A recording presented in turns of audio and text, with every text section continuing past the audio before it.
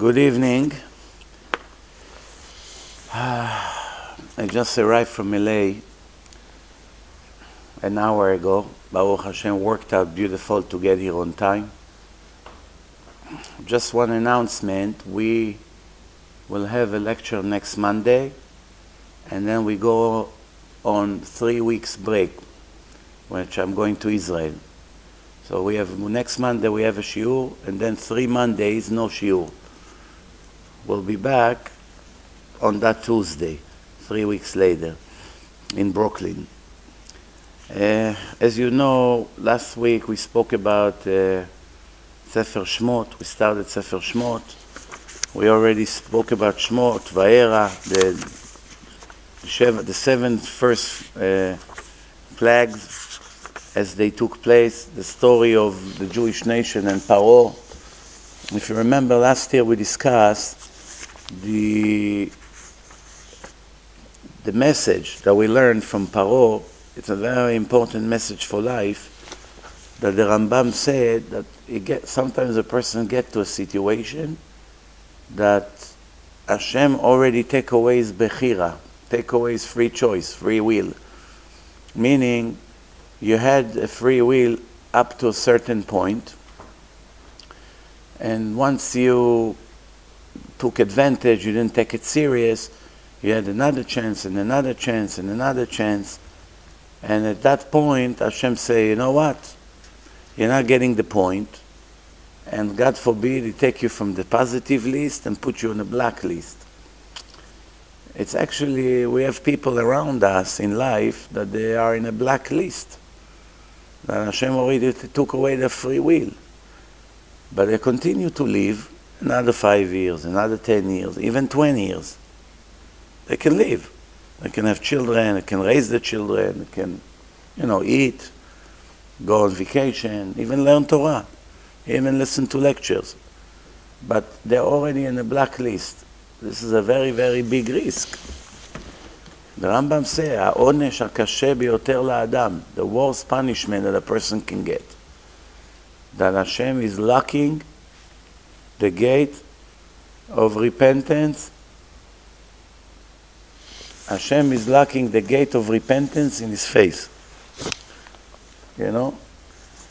The question is how, how we can make sure not to go into that, shalom, not to get into that situation. You know? Person is, uh,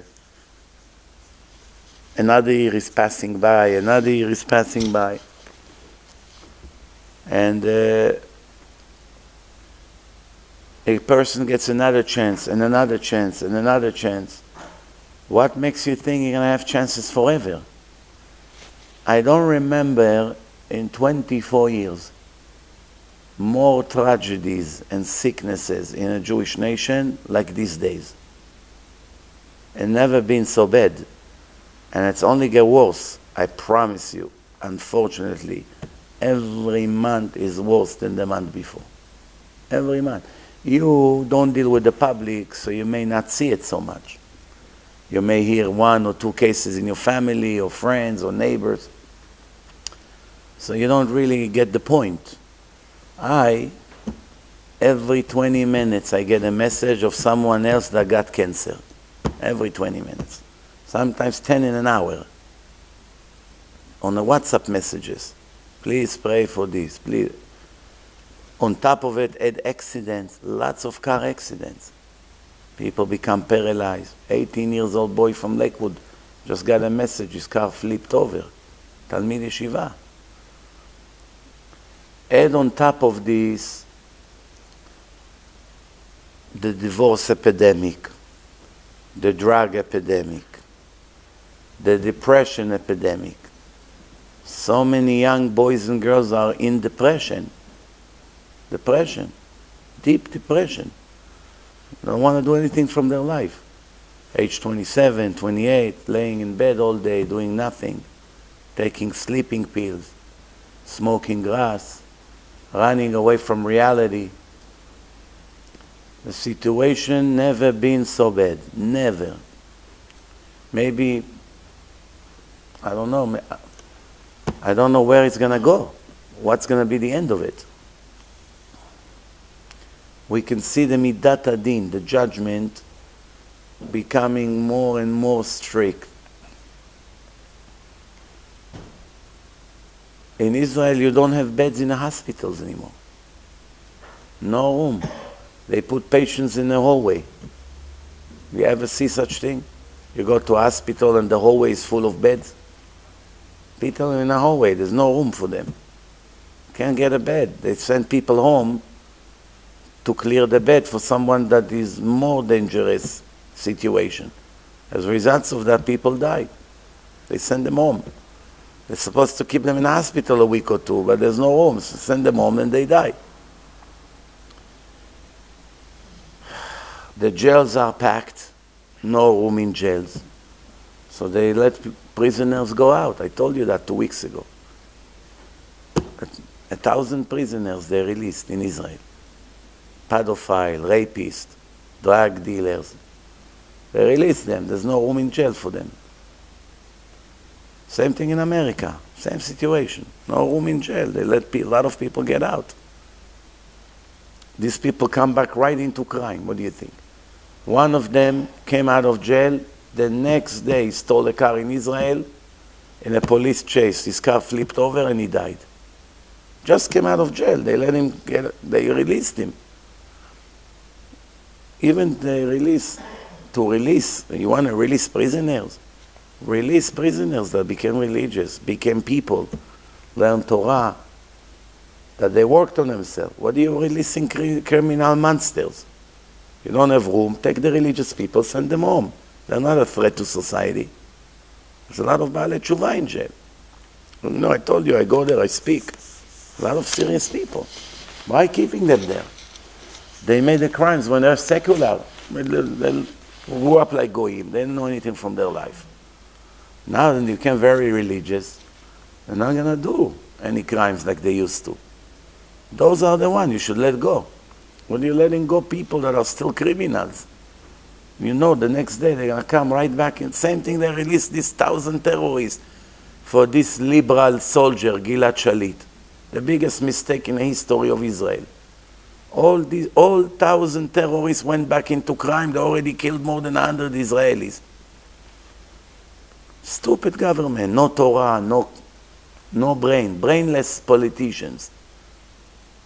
Since when a politician has to follow his heart? You have a country to run, you have to use your head. People crying. What can we do? Soldier, they came, the Arabs, he threw his gun on the floor. Take me. They Didn't even try to fight. So now they took him in, was sitting playing sheshbesh with them, eating hummus with them. No problem. They didn't torture him. He was a, was a lefty. They didn't hate him. It was okay, doing okay. Doesn't matter. Even if it's tzaddik esod olam, doesn't matter. What do we care? We care how many Jews are going to die. What's better, one or a hundred? If you have to choose two buttons, hundred Jews will die or one? Which button you would choose? Obviously, you don't want anyone to die, but you have no choice. It's either this or that. It's obvious. Well, you send a, a thousand Palestinian murderers back into the streets. What do you expect? In less than a week, they're going to kill already more than one soldier. And until now, they're making all the terror attacks. None of them left. You have to understand, Palestinians, even if one of them decide to leave terror, he have no choice. He must get back into it. It's like a mafia. You must get back. They threat your family. You're not gonna, you know what to do. You know how to shoot. You know how to make bombs. We need you. No, no, leave me alone. I want to I wanna go to university, be a doctor. Be a doctor, we'll show you be a doctor. You're not going to do for us, we'll kill all your children. We'll kill your wife. We'll kill your parents. They kill their own people. On top of it, they give them very nice money. Well, they don't have a job there where they work. They give them three, four, five thousand dollars a month. So why wouldn't they be terrorists? Add on top of it that they would even do it for free because they hate us so much. So it's a guarantee, guarantee. I don't understand why they lock them in. They must execute all of them immediately. Everyone they catch, and he has to do terror, immediately to execute him, quietly, without media. Right away. You were, you were attacking, you were involved in terror attack. Quickly, death penalty, bury him inside pig leather, somewhere in the middle of nowhere. Take a video, publish it on WhatsApp, on Facebook, everywhere. Every one of you will kill our children, will put you inside a pig and bury you, and nobody will ever find you. These, fool, these fools, they believe that if you get buried in the skin of a, of a pig, you don't have a share to the world to come. And they're very worried because they're going to miss the 72 imaginable virgins that they promised them. You understand? So once they see once or twice you're going to bury them in a, in a pig skin, nobody will do anything anymore. They won't take that risk.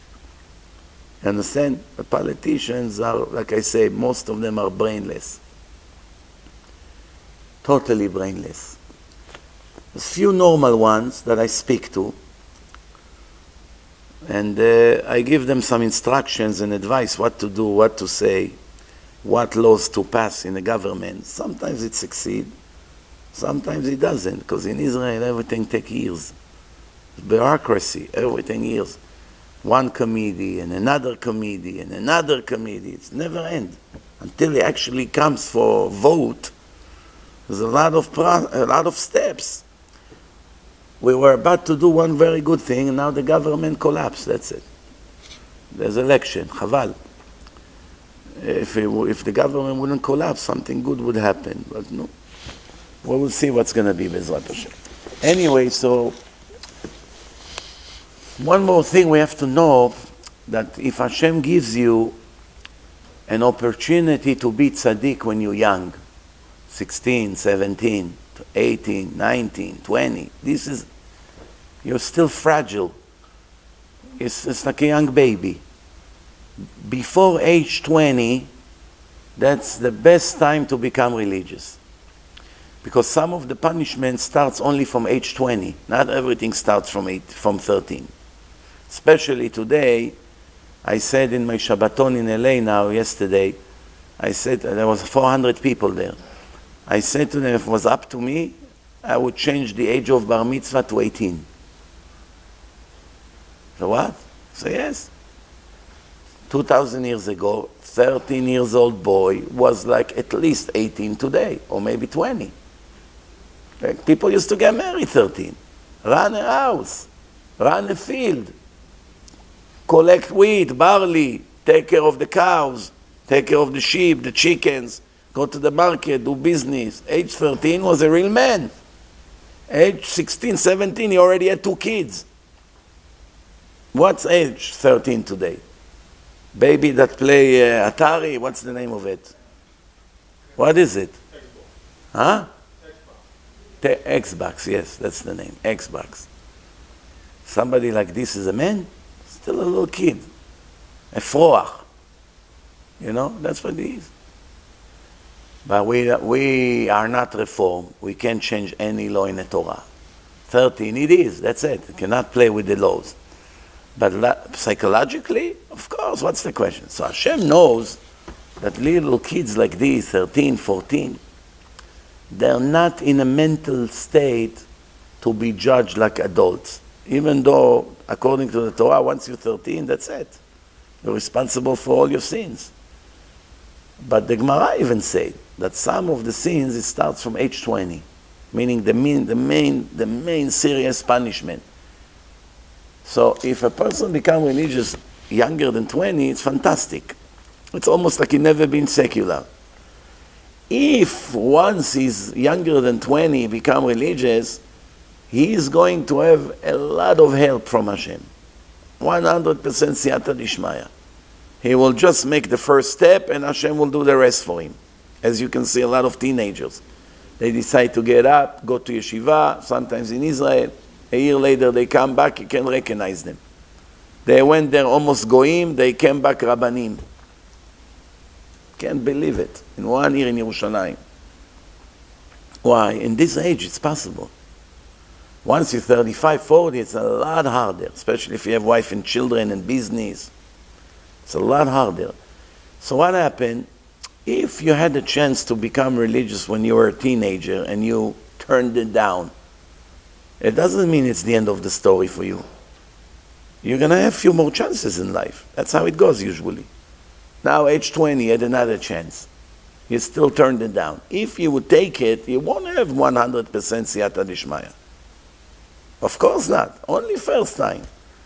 You turned me down, second time you'll have less. You didn't take it, third time you'll have less. Fourth time you'll have less. Fifth time even less. Until when you finally decide to become religious when you're 50, it's almost impossible for you. You cannot sit one hour in a Torah class without falling asleep. You're getting old. You're not clear like you used to be when you're 20 or 15. If you come to shul and put tefillin and talit and listen to a little bit Dvar Torah, 20, 15 minutes without falling asleep, that's a huge achievement. Then you have children and sometimes grandchildren, you have to run the show, you have to run, you're slave, slave of the family. In this kind of condition, it's a lot harder to become religious. Now add on top of it that usually when you already have a wife and children, not always they cooperate with you. You saw the light. You know how many thousands of times people came to me and say, I'm dying to become very religious, but my wife doesn't let. What am I going to do with my children? It's going to turn me away from my children. I have 16 years old daughter. She's rebelling. She goes out with Arabs. She have earrings and tattoos. I'm going to tell her we keep Shabbat. What am I going to do? My son is like this. My other son is like that. My wife is like that. My wife is a liberal. She's a lefty. If she's going to find out I'm keeping Shabbat, she's going to divorce me right away. Take away all my money. Now there's no siyata dishmaya. Very little siyata dishmaya. Very little. Why? Where were you 20 years ago, 30 years ago when I came and reached my arm to you? You turned me away, right? Every time you turn Hashem away, you're going to deal with the consequences later on. The world is not a picnic. Even though everyone lives in a dream and in illusion, and people run after the house in Great Neck and the Mercedes and all this show off, it's all baloney. In the end, people will pull their hair off when they stand in a trial, when they die. When they see what they burned their life on, they'll kill themselves. They'll be dead already. I said, wow, what a stupid person I was. Look what I have to deal with now. And the worst thing is, that the, real, the biggest pain that people will have is that they heard me or other speakers that they listened to that warned them that that's going to be their end. Many times and they didn't listen. And now when they see its reality imagine the pain. Imagine the pain. I remember i got one time a call from a friend of mine. He, he came to me for shabbat once then we became friendly he told me it was in a different state. It's really an emergency. There is a girl from a Moroccan family, her parents Israeli, traditional. traditional. And not Shomer Shabbat, מחללי Shabbat, it's like goyim. מה זה traditional? Shulchan Aruch say, not me, the Jewish book of law. I did not write it.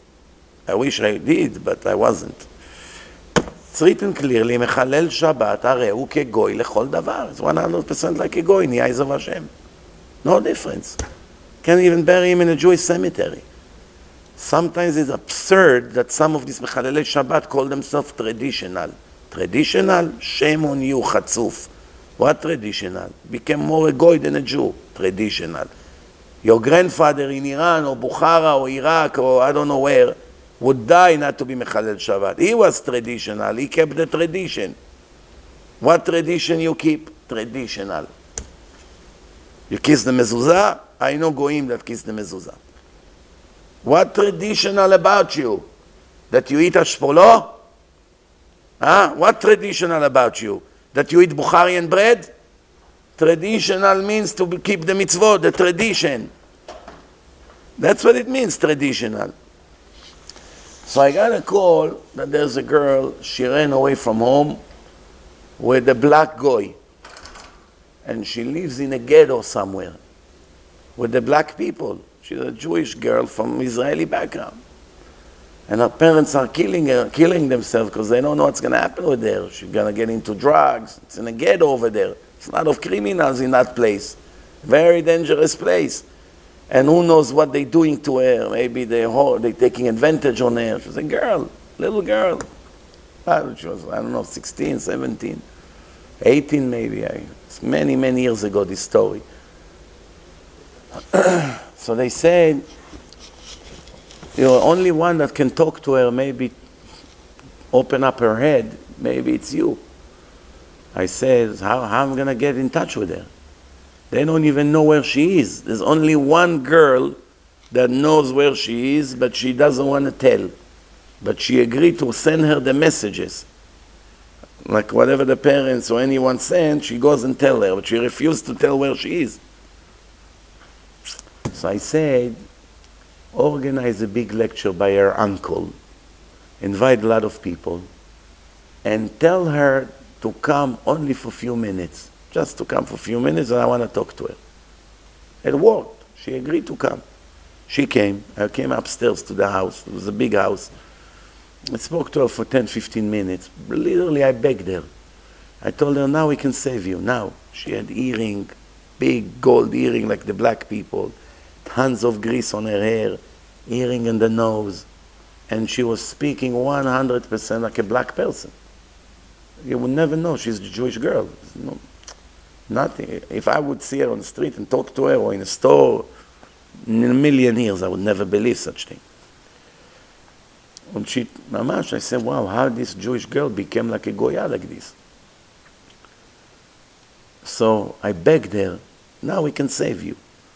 We'll take you to Monsey. We'll save you. No, no, I know, I know, you're right. Believe me, every night before I go to sleep, I cry. So can, now we can save you. No one will know where you are. He won't know where you are. This monster she lived with. He, he won't know. He won't find you.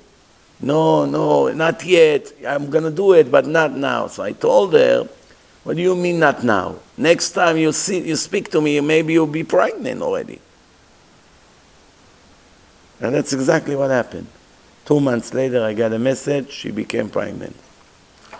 Now, when he found out she's pregnant, he threw her like a dog to the street. What does he need her? He's taking advantage on this stupid girl. Naive.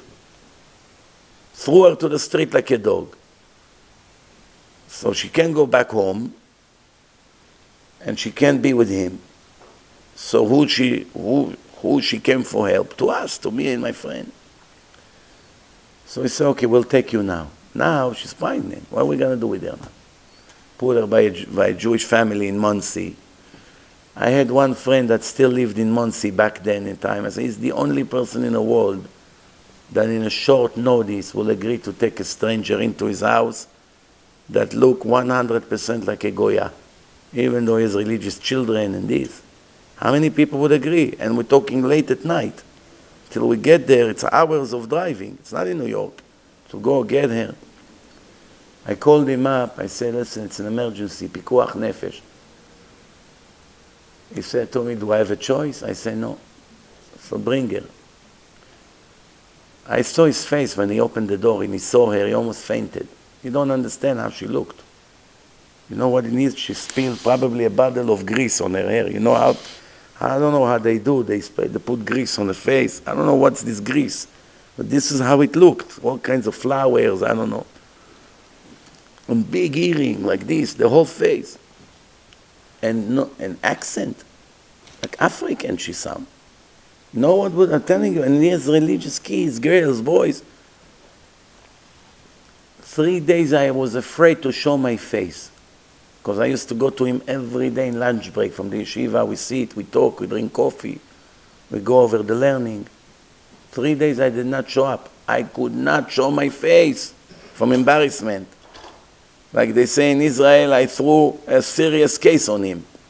זרקתי עליו תיק תיק.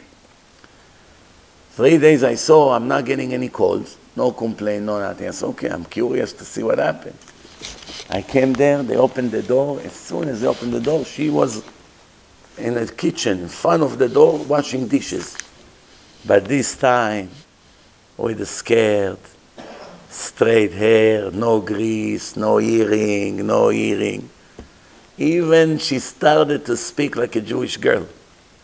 This whole accent thing, it's all a show. It's all a bluff. This is the effect that the world has on our children. So she became very religious, Baruch Hashem, by my friend's house, with his wife, with him, they're wonderful people. She got the point. But now she's pregnant. What are we going to do now? Found her a family that are willing to adopt the kid, but in one condition that the kid will be white. Because if he will be black, everyone will know he's a goy. I mean, uh, came from a goy. He's a Jew. No matter what, he's a Jew. But came from a goy. The family don't want. If we are white parents, we don't want a black kid. Because they know it's not our son. We want to, to adopt a kid that people think it's our, our child. Which, that's the way the world is. You can do the same thing by black parents. They would rather ad- uh, adopt a black kid that looks like their own biological son. So what happened? Nine months, everyone was praying that Hashem will make a white kid, that the family will adopt them, because the life of this girl is basically over. Who's gonna marry her with a kid? 16, 17 years old kid. You know how difficult it is to get married as it is. The baby was born Temani. Half and half enough. Half enough. Temani, okay, Temani is בסדר. You can say the father is Temani, no problem. But what do you think happened when the baby was born? She did not want to give it. I can't, I can't give the child. Because there's a big connection between a woman and a child. She kept him. And she married a Baal Tshuva. And they had another five or six or seven kids. And this Baal Tshuva became a big Rebbe. You know what Rebbe means? A real big Rebbe. People standing on lines all, online all day to speak to him. They write requests, bringing checks. That's what happened. Who would ever believe that this story will end like this? And that boy became Hasidish. Speaks Yiddish. And do you think that his biological father ever care where he is? Never. It's unbelievable that a person bring a child to the world and doesn't even care about it. Throw the mother, get out of here. He knows he has some uh, kid somewhere. Doesn't care about it. Happens a lot to the Hollywood stars. They go to women, they give them some money, get out of here. But what about the child? It's your child. I don't want anything to do with him. Sign here, sign here, here's your money. Don't ever bother me. Because people are selfish. All they care about is themselves. They don't care about anybody else. Once you're such a selfish person, you care about your children? You don't care.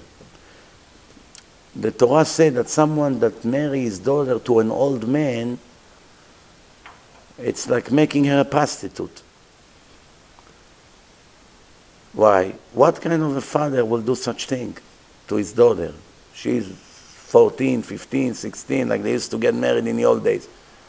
You get, you, you get, you get her a guy 60 years old.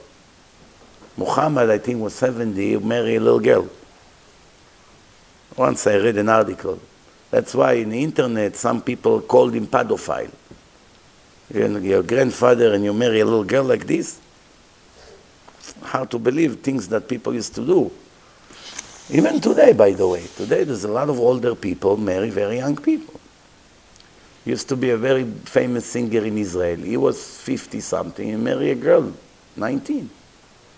Very famous. Of course, the, that marriage did not last. Two, three, four years later, it, they got divorced.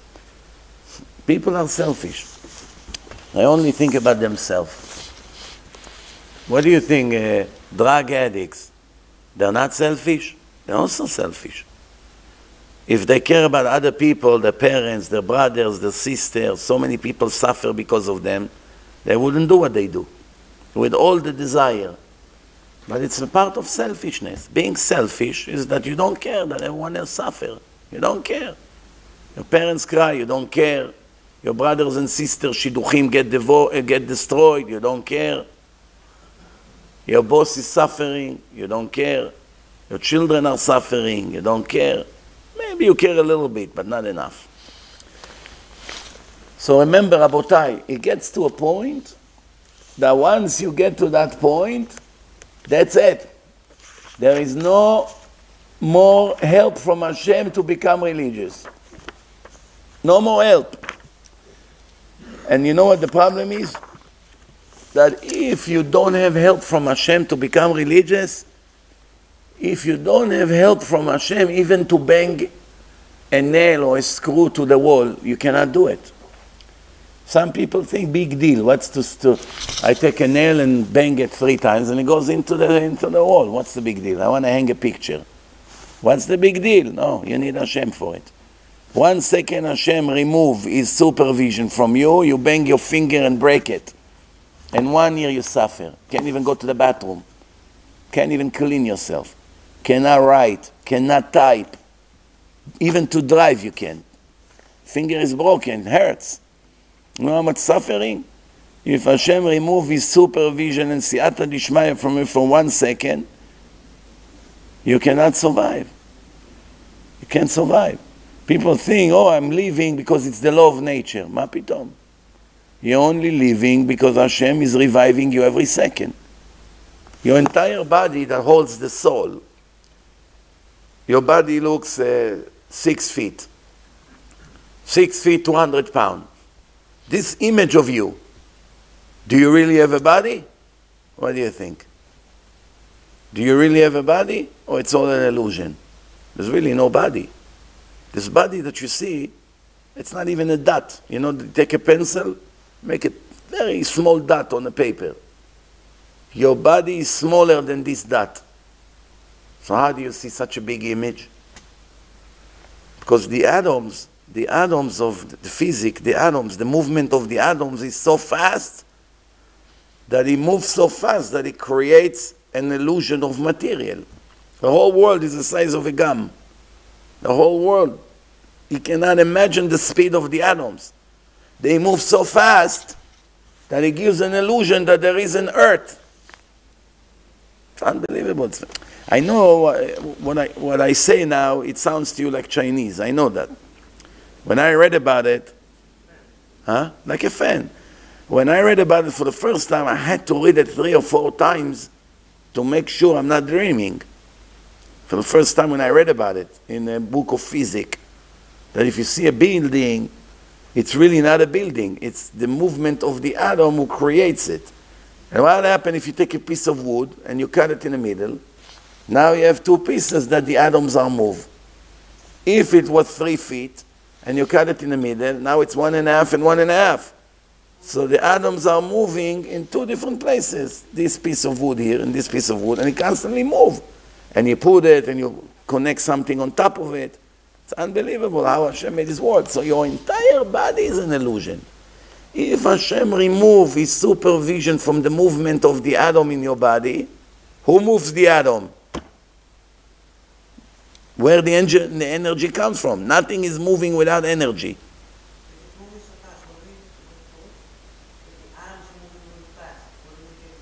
Can't move, i tell you why. When a fan turns around very fast, can you go through it with your finger?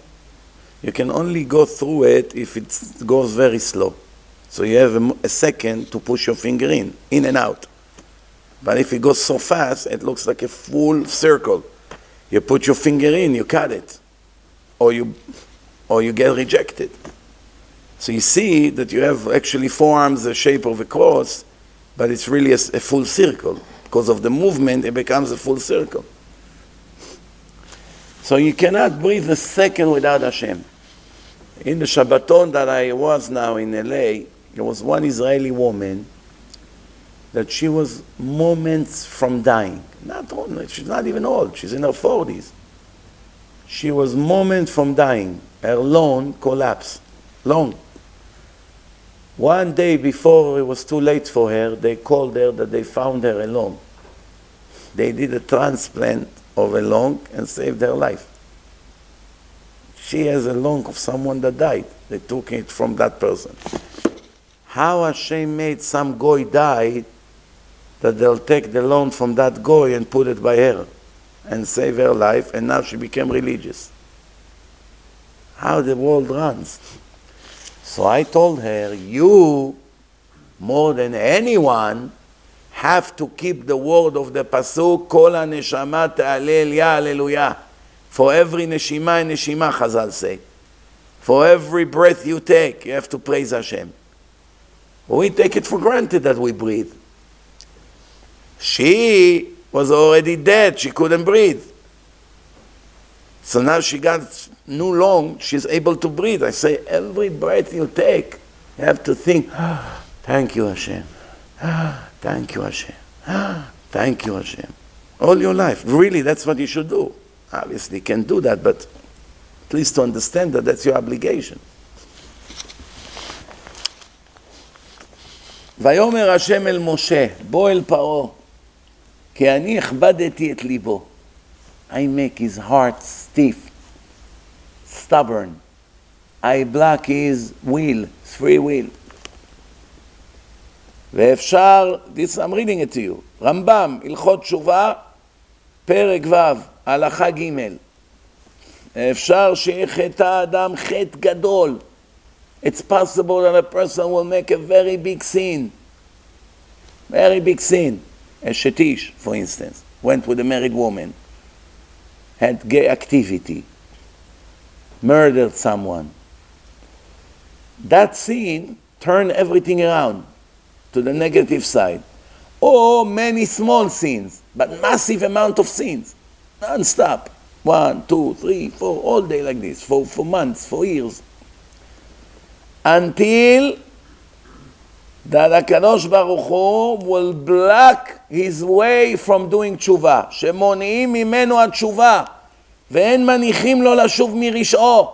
Hashem does not let you become tzaddik. Not anymore. Too late for you, buddy. Too late for you.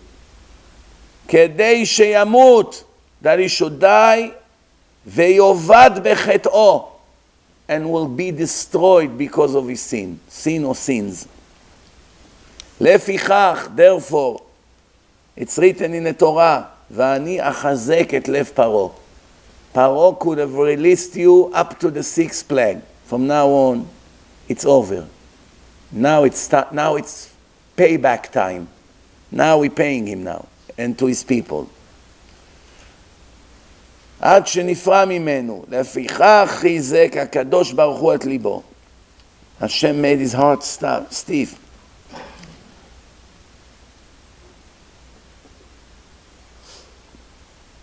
ולמה היה שולח לו ביד משה ואומר, שלח ועשה תשובה? So why Hashem bothered to continue up to the tenth time to still tell him, release them, release? כדי להודיע לבאי עולם, to inform the people of the world, and those who will come later in history, later on, to learn from this. שכיוון שמונע הקדוש ברוך הוא התשובה לחוטא, השם prevented the repentance from a sinner, אינו יכול לשוב, he cannot do תשובה anymore, that's it, it's over. אלא ימות ברשעו, he will die because of his wicked way. רמב"ם Laws of Repentance, chapter 6, provision 3. Here you see have the source. Don't say I say it. Understand? So if someone comes and say to you, ah, nonsense, everybody can do tshuva.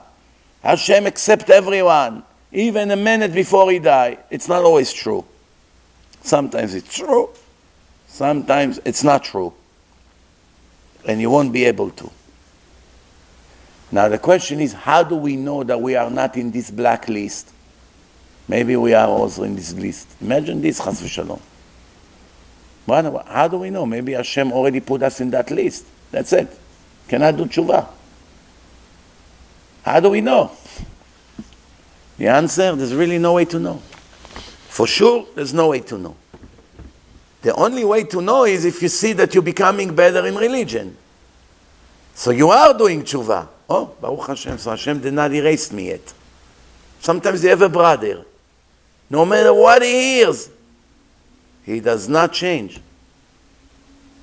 Does not change. So how can it be? What is this guy is a monster? What is he? How can he be so ungrateful?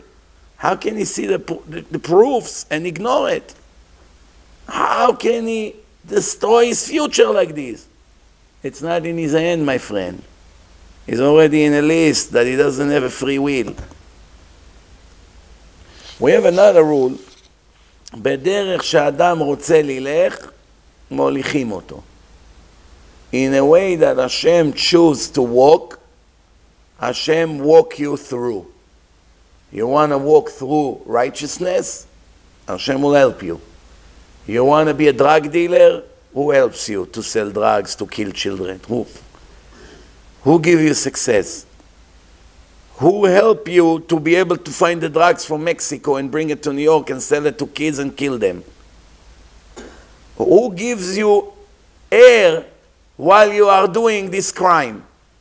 You breathe, no? Who gives you the breath? Hashem. Why? He see that you are murdering children now. Innocent children, 14, 15, you're murdering them. Why? Hashem does not interfere with the free will of a person unless he erases him. Oh, that's it's too late already. Whatever you choose to do, Hashem helps you to do. You buy a gun, you go, you kill someone. If this person deserves to die, Hashem allow, allow you to do it, and later He's going to punish you for that.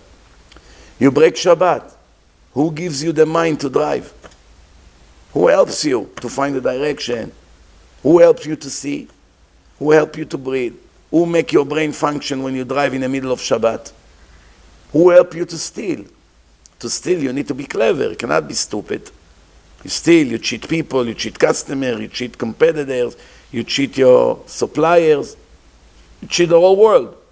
Who gave you these sneaky ideas? Who make you think? Who function your brain when you have all these bad ideas?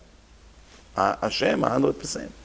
Same way Hashem helped the tzaddik to learn Gemara and understand and become tzaddik and become better and better.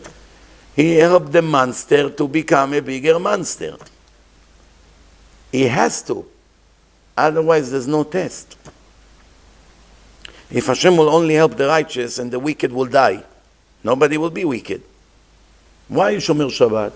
I try not to be Shomer Shabbat. I couldn't breathe. Hashem took away my bread. So I have to be Shomer Shabbat. Big deal. He deserves a reward. Take one secular person who hates Torah. Tell him if this Shabbat you're not going to keep, from the first thing you do on Shabbat, you won't be able to breathe. Shabbat comes, he doesn't take you for serious. Right away, he lit a cigarette. Oh, I can't breathe. Please, please. Okay, give me another chance. Okay, here, another chance. That's it. He'll never break Shabbat for the rest of his life. Not because he loves Hashem or because it's the truth. He just doesn't want to choke. doesn't matter. Take an Arab terrorist, take away his breath, he will also be Shomer Shabbat. That's defeat the purpose of the creation. The purpose of the creation is to be in a place of a test. What else?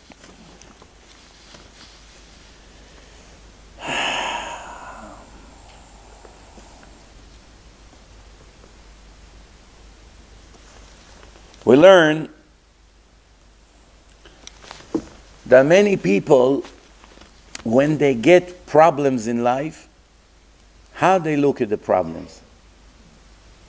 I want to ask you, let's be honest. You just got into an accident, $2,000 damage.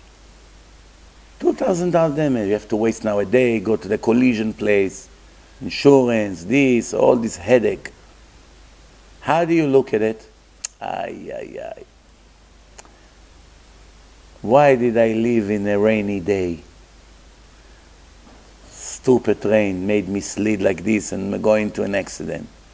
Oh, you scream at the guy. Don't you have eyes in your head? You fool, look what you did. אין לך עיניים בראש? You don't have eyes in your head? How many people right away first thought is, wow, Hashem, I'm sorry, what did I do? that you gave me this punishment? He immediately begin to think, why did I get a $2,000 loss now? Maybe this, maybe with a customer, maybe the customer wanted to return something and I told him no, even though my policy say yes. Maybe I sold something not real. Maybe I do this, maybe I do. You begin to think. How many people do cheshbon nefesh when something bad happened to them? How many people get a call from their wife that their kid fell and broke their hand in school and you need to take him to hospital and the first thing they think, wow, Hashem, what did I do that you're doing this to me? How many people look at everything that happened to them that Hashem is doing it?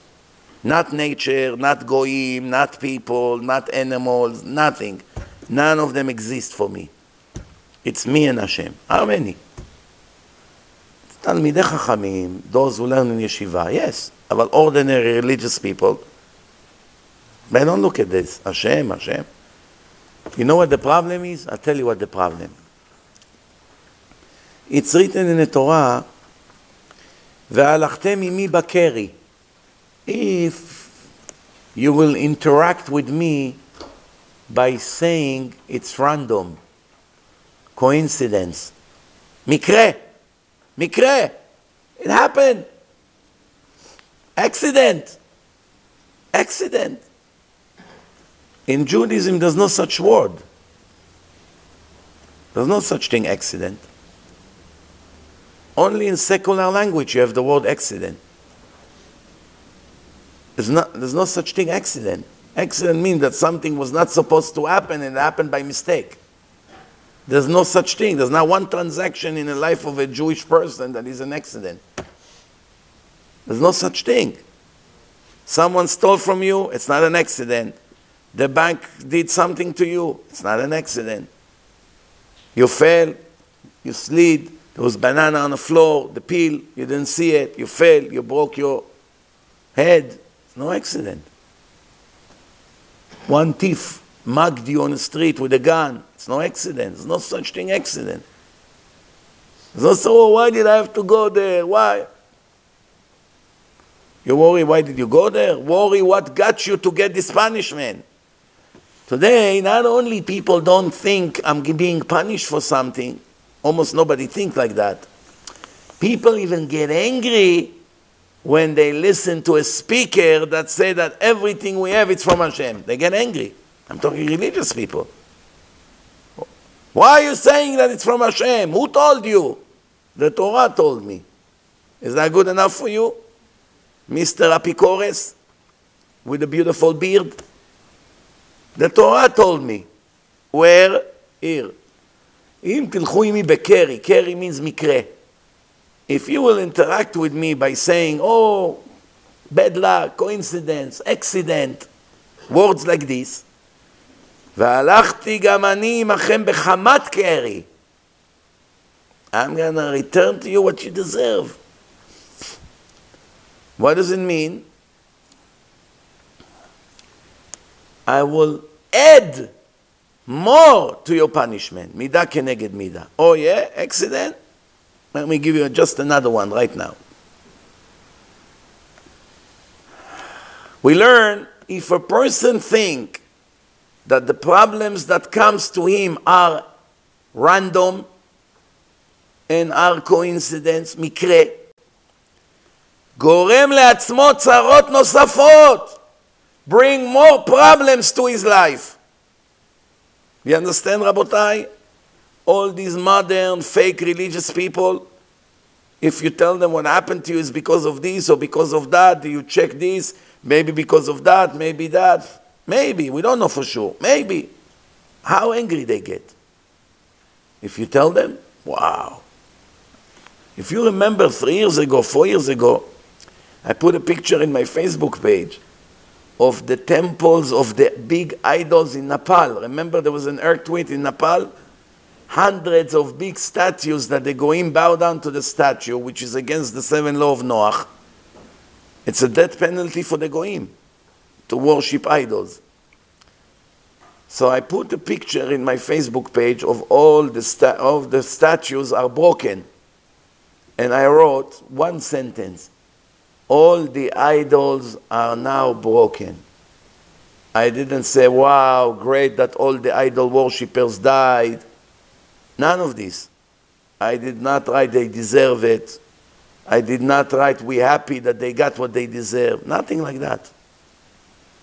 All I wrote is one sentence. What is it? All the idols are now broken, which is an obligation from the Torah to be happy. We have a bracha. Baruch oker avodah zara me'olamo. Chazal make a bracha. Just like you make a bracha to put tefillin, just when you make a bracha to shake lulav, just when you make a bracha to eat matzah, all these brachot that Chazal made, there's one more bracha. Bless you, God, that destroy the idols from your world. That means you have to make bracha to Hashem, to praise Hashem for it, to be happy about it. You had to see all the liberal Jews, how they went crazy. I'm talking religious liberal Jews. They call today modern Orthodox. You had to see their comments, how crazy they went. To the point that one of them came to my wife, tell your husband, shame on him. What? She didn't even know what she wants. What's the problem? He's happy that the temple in Nepal is destroyed. She said, What is she talking about? Uh, dogs like to bark. You don't have to pay attention for everyone that bark. These people, you know how many problems they bring to themselves by the way they talk? By the way they think.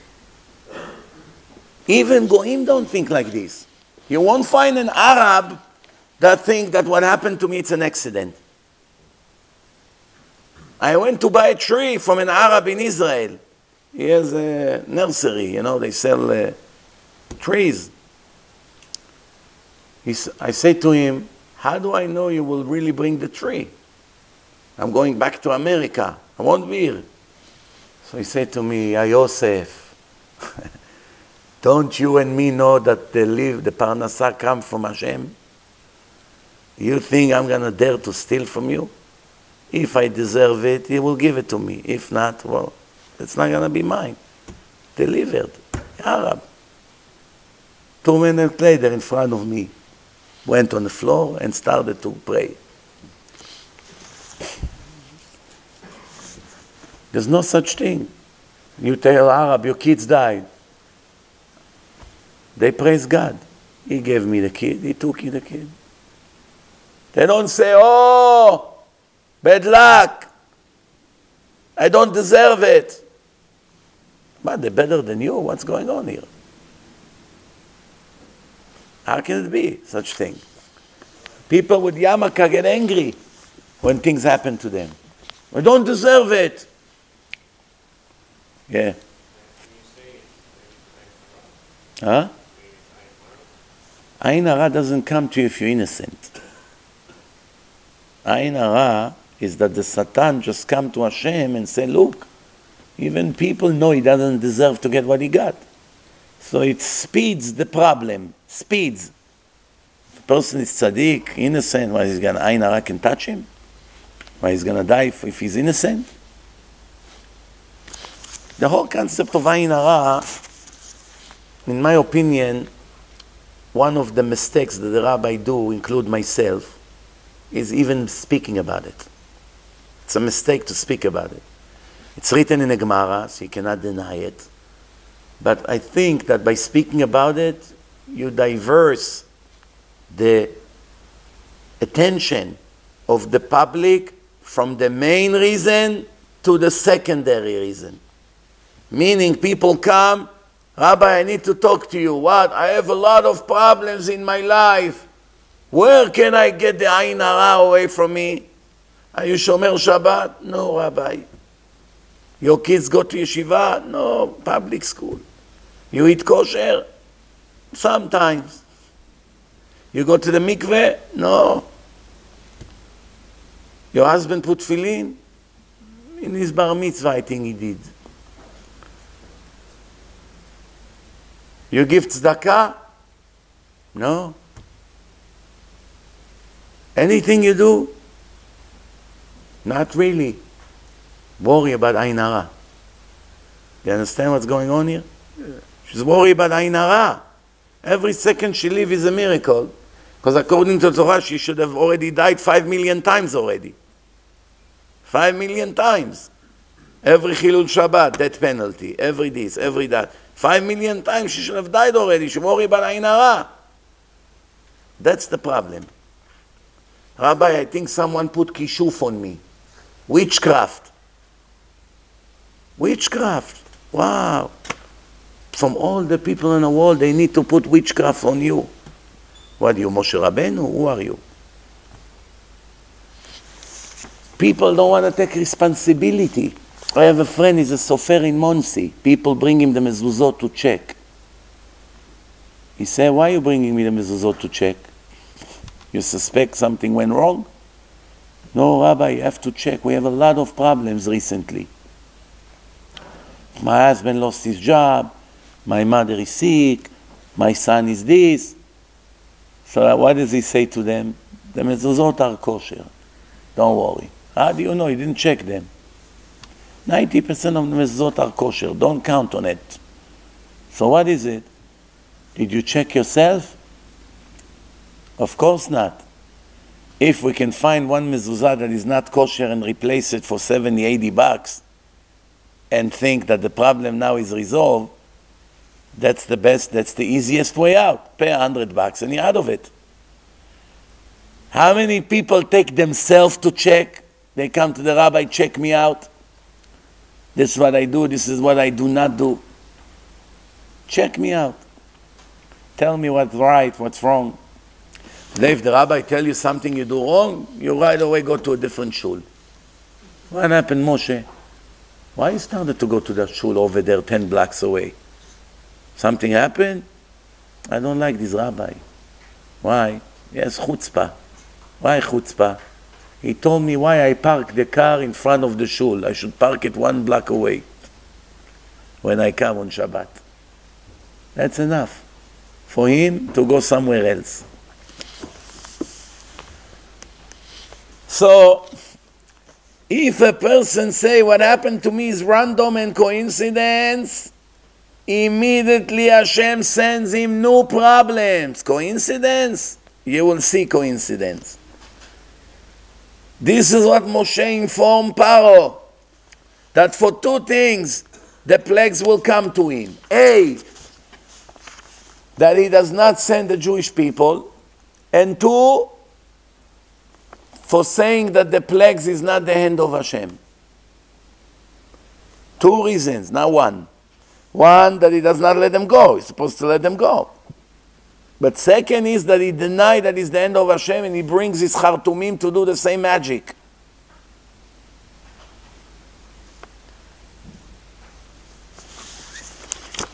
You understand what's going on here, Rabotai? Kama, we have to be careful.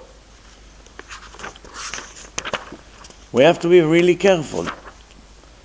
Because the way you react to your problems bring more problems. Bring more problems. How many people knew that? How many people here know that if you look at something as a natural disaster, as a natural tragedy, as a natural cause, that right away Hashem will send you another problem right away, the next day, the next week. How many people know it? Raise their hand. At least you're honest. Nobody knew that. Nobody knows it. And even people who knew it forgot about it. That's why they keep blaming nature. How many times we blame the Arabs for our problems? Huh? Don't we speak, the Arab does, the Arab like this, the Arab like this? We all do. All of us, no exception. What Arabs? Arab and the tree, it's the same thing. Arab and the lion is the same thing. The Arab and the bear is the same thing. The Arab and the snake. Hashem needs the Arab. He can use the snake to kill you or the bear or the dog. How many times dogs ate their own owners and killed them? Amstaff dogs. After 20 years, they took care of them. When the time comes, that's what happens. This is the stick in the hand of Hashem.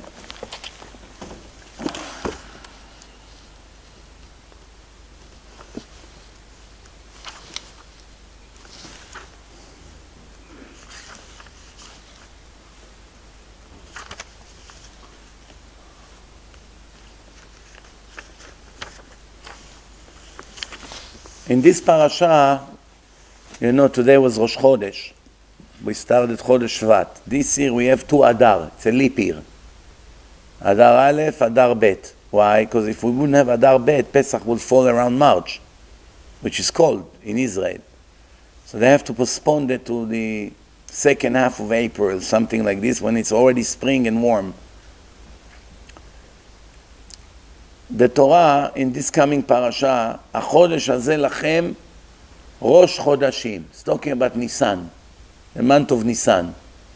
This month of Nisan, to you, is the beginning of the year. The sages, the Chazal, the Chachamim, and Rashi follows them. They say that this pasuk is a very important, critical verse in the Torah. Very important. They were wondering why the Torah did not start with this verse. Rashi say, based on what the Chachamim say, that the Torah should have really started with that pasuk. החודש הזה לכם ראש חודשים, ראשון הוא לכם לחודשי השנה. Because why? Why? Why the Torah should have started with this mitzvah? Because that's the first mitzvah that the Jewish nation was commanded. החודש הזה לכם ראש חודשים. But it's really not the first mitzvah. There are two mitzvot that came before that. Which one? Who knows? ברית מילה and גיד הנשה. ברית מילה and גיד הנשה. No, I'm talking the Torah, in the Torah. ברית מילה גיד הנשה. Well, 200 of the mitzvot come from Sefer Dvarim. Many of the mitzvot come from Sefer Vayikra. Vayikra, Bamidbar, Dvarim, that's almost all the, all the mitzvot. In Bereshit, you only have three mitzvot. That's it. In the whole book of Bereshit. Why it's so important, this verse? This verse is to teach us when the beit din decide that it's Rosh Chodesh, right? It goes based on the words, not based on reality. Even the beit din make mistake. They decided that Rosh Chodesh is today when it was supposed to be tomorrow or the other way around. אפילו מזידים, אפילו שוגגים, אפילו מוטים, even mistake. We count from that day and that's when you celebrate the holidays. Based on that mistake, everyone will eat on Yom Kippur. And everyone will fast the next day. Why? The Chachamim decided that's the reality. This is the power of the Chachamim. Hashem gave the Chachamim a power to decide the date, to decide the calendar, to decide when you're going to fast and when you're going to do Korban Pesach. The Torah is trying to explain the nation that Akadosh Baruch Hu, what the, the commandments that Hashem commands us to do is not lo bashamayimi. It's not unreachable. Hashem is perfect with or without us. All the mitzvot are for our own benefits. He does not need anything from us. How do we learn it? Who knows where in the Tanakh it's written? That nothing of what we do change Hashem even a bit. Nothing. I give you an example. Sometimes a person is sick, you come, you take care of him, you make him cure. So now, thanks to you, he's, he's better. So we can affect people to be better or to be worse. We can make them paralyzed. We can kill them. We can make them lose a part of their body. So we can improve, we can upgrade or downgrade the life of people, even by words. You can say something to someone or abuse him verbally, and he loses all his confidence, and he has now low self-esteem, and as a result of that, he went to horrible drugs, and his life is over. You can affect a person by the way you talk to him. You can destroy his life. How many people hate religion because of the way their parents spoke to them when they grew up? They don't want to hear about it. It's not, they have no problem with Hashem or with the, with the commandments of the Torah. They know very well that Torah is divine. Very well they know. They don't want to even hear it. They can't look at a rabbi. Why? They were abused in yeshivot. They made fun of them. They put them down. They don't want to even think going back to those days. We're gonna have to pay the price for the mistakes we did, and we're already paying. Why? The biggest punishment of a person in life is what? That his child goes off the derech. His child was religious, righteous, and became not, became secular. It's written in the Gemara that something like this is worse than Gog Magog. Gog Magog will destroy two-thirds of the world. Five billion people will die. Rivers of blood. It will take years to bury all the bodies. It's going to be epidemic. The world will be in a worse situation it's ever been in the time of Gog Magog. As uh, the prophet Zachary described a biological war. People's eyes will melt. People's hands will come out of their socket. That's not conventional war. We're talking chemical and biological and nuclear and who knows what else. And the Torah say, Ben shiorel letarbut ra'a, a boy that goes off the derech to a bad culture, to a bad direction, is worse than Gog Magog. Maybe it's an exaggeration, of course. The reason that the Gemara used such a language, extreme language, is to make us understand, hey, that's not just a little problem. That's a huge problem, Habibi. I have a woman from LA. Every time I go, she always come, and she always the first one, always. She have two, I think, or three kids. You have to see how she cries every day that they are not religious. Because by the time she found me, she was already in her, in her 60s. She didn't know that much. She put them in public school. They all became business people. I think one married Goya. They are mamash like Goyim. I want to hear about religion now. You have to see how she suffered. You have to see. She's mamash holding her crying every time I come. How are you? Mamash is trying not to cry. But it's not only when she sees me, it's every day for years. She cries non-stop and suffers that her children are like goyim, and she blames herself. Some people don't even care. You become religious and you don't care? Doesn't kill you to see your son married to Goya and his children are goyim? It doesn't bother you? What are you made from? Huh? What are you made from? If his son's to need a kidney, he won't sleep two months. Wow, my son needs a kidney, he doesn't feel good. You worry about his kidney, he has another kidney, don't worry. Worry about his neshama that is already destroyed for eternity. If he dies the way he is right now. For that you have to worry. Parents that don't cry every day to Hashem that the children will become Baalei Tshuva, either they are brainless or they're heartless. One of the two.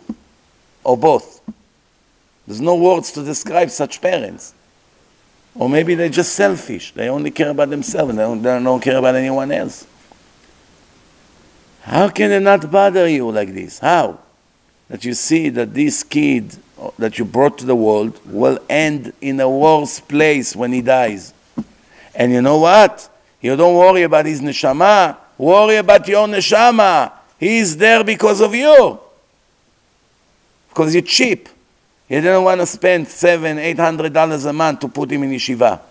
So you send him to public school with all the gangster, with the Puerto Rican gang over there. He grew up with them. That's why he's full of tattoos. That's why he speaks like them. That's why he has a gun in his car and a baseball bat. That's why every, when he talks, you, you can never believe he's a Jew. Because you're trying to save $10,000 a year when you made millions. You made millions in Manhattan selling gold and diamonds and try to save $10,000 a year sending your kids to public school here in Forest Hills. Every day did not get killed over there, it's a miracle with all the bullies and what's going on over there. and now he became a goy, and he will marry a goya, and all you care about is making more money. That's what's going on today.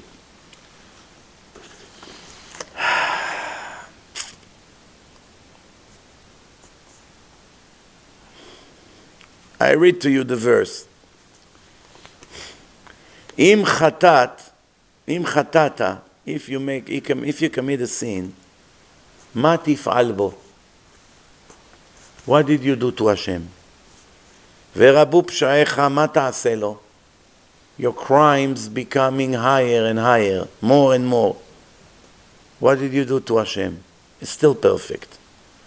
אם צדקת, if you are a tzaddik, you became righteous. מה תיתן לו? What did he get? It's still perfect. He's always perfect. When you go down and when you go up, you do not affect him. או מה מידך ייקח? What would he need from you? What, he needs something from you? He's sick, he doesn't feel good, he needs you to give him Advil or something? What does he need from you?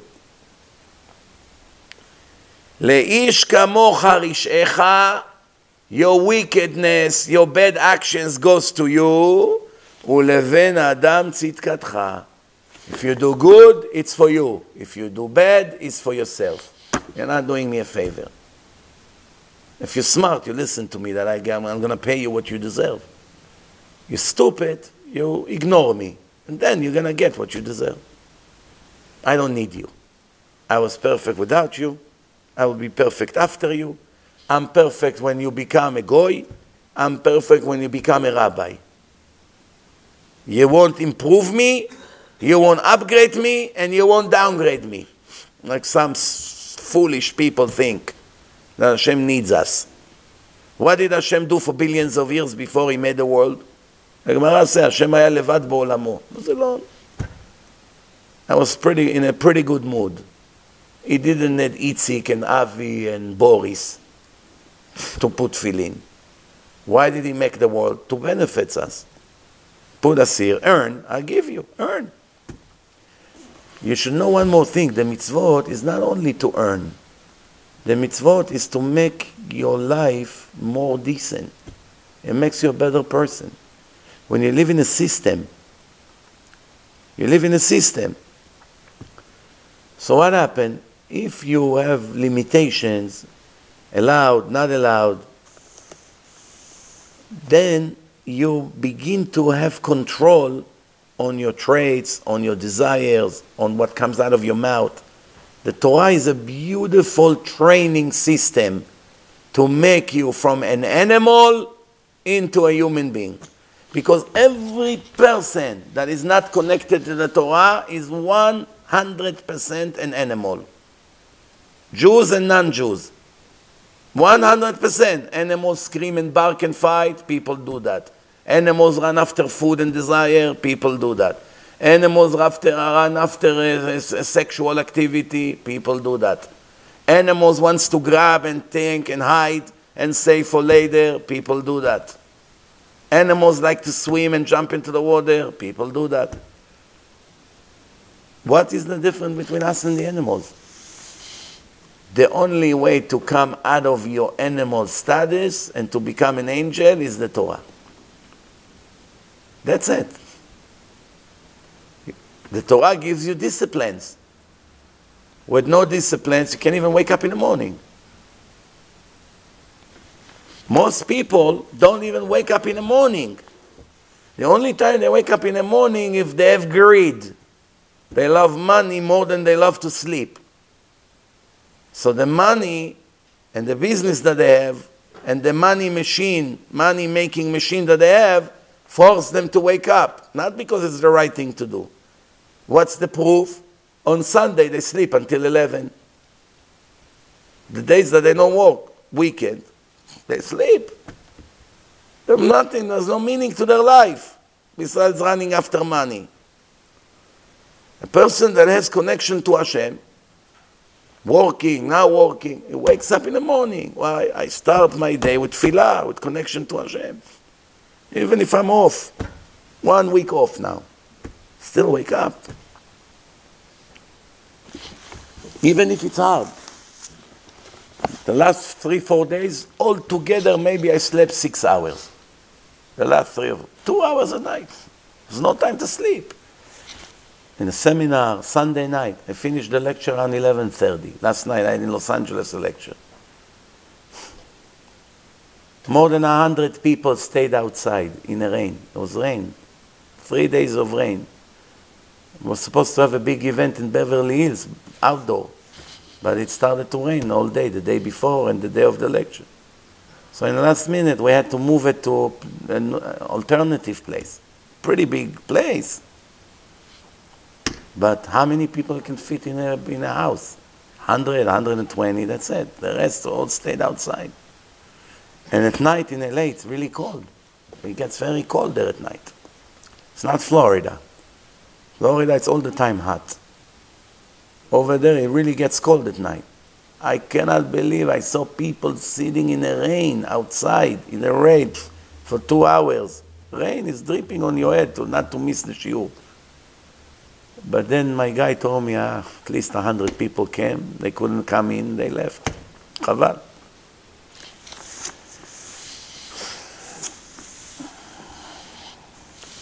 There was no time to sleep. By the time I got home, was uh, 12 something. So many emails and messages, and we have to get up for the netz. Bathroom, shower, sending the lectures to my guy to post them on the online takes hours. ממש an hour and a half, and right away Netz, and from the Netz right away to the airport, and the flight, I landed an hour before the shiur. Come here, finish here, go home, sending the, the thing to the guy. A Few hours later, you're in shul already. Why? You have a system. This, this, it's very difficult to have disciplines without the Torah. And don't tell me the army is also discipline. I was in the army, I know. The army is illusional disciplines. If you're not going to wake up, they put you in jail. So you must wake up. They tell you you have seven minutes to be on the truck. It's not going to repeat it. You're not going to make it to the truck. You sit three weeks in jail. of course you get up. Thank you very much. You agree to wake up at 5, 6 in the morning. You're not going to wake up. You suffer for three weeks. You clean the bathrooms. So you wake up. But the Torah, you can sleep until 11. You miss Kriyat Shema. You miss davening. Nobody puts gun to your head. You don't go to jail. So when you wake up, that's discipline. Without a gun to your head. Why? Because you learn that that's what Hashem likes. The first halacha in Shulchan Aruch is what? Get up like a tiger. התגבר כארי לעבודת הבורא. If really we think about it, what do we gain from the minute the alarm goes off for staying 10 more minutes in bed? What do we gain? Such Yetzirah. Anyway, you're going to be the same tired. If you get up now or in 10 minutes, you're still the same tired. If you slept four hours, five, six, that 10 minutes will change anything. But what is the risk that you say five more minutes and you fall asleep and you miss your flight? Or you come one hour late to work, or you miss the minyan. That's what happened. So Hashem is perfect with or without you. And the Gemara say, what does Hashem care where you're going to slaughter the animal from? Does he care? He's going to be here or here or there.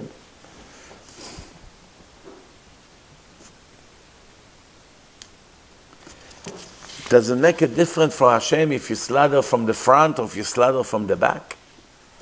Does it even make a difference for him? He needed to make a system here of a test. Okay, so let's make rules.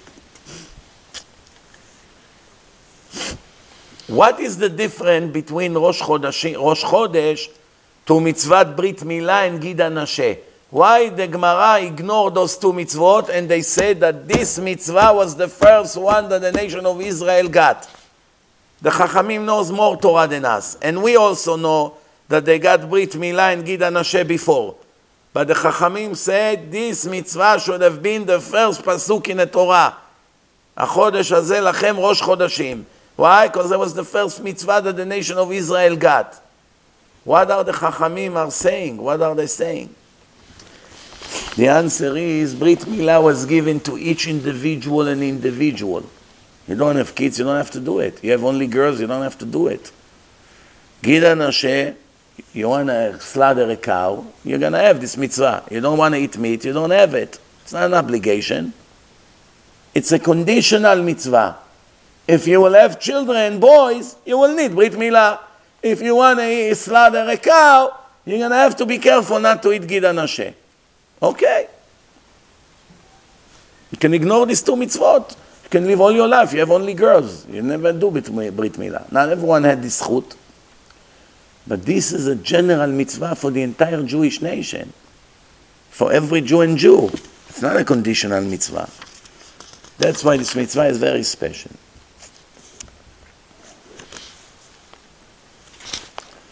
Time is running out.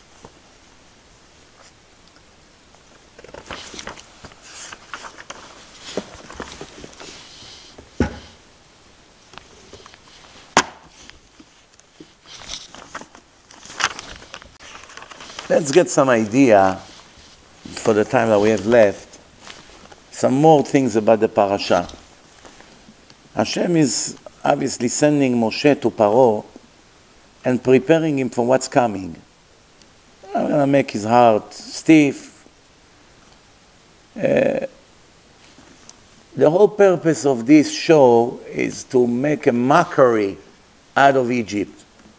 I will bring them down on their knees for the future generations to know what happened here. Why every time they came to Paro, they say, tomorrow Hashem is doing such and such? Why they came a day before? Why not today? You have two hours, ultimatum. Why always tomorrow? Tomorrow Hashem is going to do such and such. Why? The answer to give him enough time to fight with his evil inclination and to do the right thing. Sometimes two, three hours is not enough.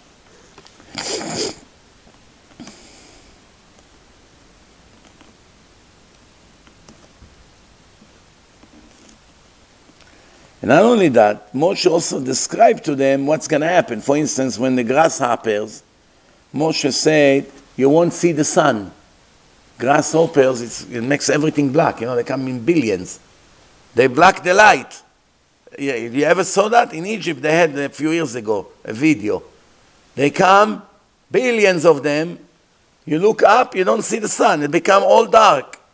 It's unbelievable how they all fly together. They block the sun.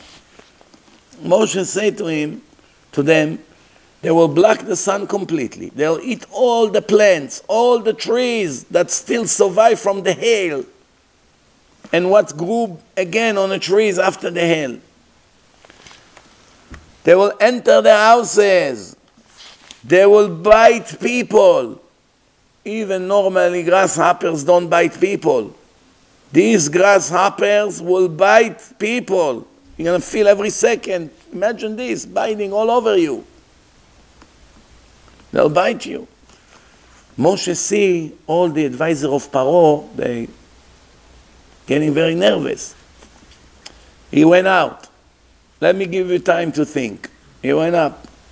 The advisor said to Paro, this man is destroying us. You should send the Jewish nation that Egypt won't be destroyed. Paro right away sent a messenger to Moshe and Aaron. Okay, I agree. I agree that you go. Go and sacrifice to Hashem in the desert. Who is going? Moshe said everyone, the adults, the young, the boy, the girls, the cattle. Paro gets angry. If you want to sacrifice, why you need to take the kids? Leave the kids here, collateral. Ah, you bunch of snakes. Ah, you bunch of crooks. You're telling me you're going only to sacrifice and you come back, huh? That's why you want to take the kids, because you want to escape. I just caught your plan. You want to run away. Who got up and kicked them out of the palace? Who? Who was the main advisor of Paro? Bilam. Get out of here, you crooks. Bilam, send them away. Then what? Hashem said to Moshe, raise your hand with a, with a cane towards the direction of Egypt. And strong wind would come from the east all day and all night. Billions of grasshoppers came. Just like Moshe said. They block the wells. Nobody can go into the wells to get water. They beat, they sting them. They ate their eyes. Egyptian came out with no pupils. What happened? He, bat, he beat me in my eye. Many of them lost their eyes. But they ate mainly all the plants and all the trees. Everything became brown. There's no green anymore. Now one leaf left in Egypt, the Torah say. Now one leaf in the whole land of Egypt. Paro ran urgently to call Moshe and Aaron. Chatati le Hashem. I sinned to Hashem and to you. Pray to Hashem to take this death away from us. Moshe prayed. Hashem turned the direction of the grasshoppers into the ocean. They all fell into the Red Sea. Not even one of them left in Egypt. Even the ones that the Egyptian lacked. The, the Egyptian lacked them because people used to eat them, you know. The Yemenite, they eat grasshoppers. They fry them in a pan. I asked one Temani, how can you eat such a thing? Tell me, it actually tastes like French fries. French fries? Yeah, you fry them in a pan. Ugh, just from thinking about it, I want to faint. Not all of them are kosher. That's the whole point. You and me cannot eat grasshoppers. Persians cannot eat it. Bukharians cannot eat it. Syrian cannot eat it. Ashkenazim cannot eat it. The only ones can eat it today, it's the Yemenites. Do you know why? Because they are the only one who have tradition from generation to generation how to check which one of them are kosher and you can eat or not because they are the only one who are so poor that there was nothing to eat so they ate grasshoppers. In Europe, the Jews over there don't eat grasshoppers, they eat lamb, steaks, lachs, gefilte fish. You understand? in the Arab countries, steak, Ashpolo, Guchguche, Gondi. With the Baruch Hashem, we did not need, look at the food of the Yemenite. All their food is water and flour Everything. Fatut, malawach, jachnun, uh, kubana, everything. Water and flour. Nothing to eat. Such a poor country, this Yemen. So they ate grass, grasshoppers was a treat. Treat. What bracha you make on grasshoppers?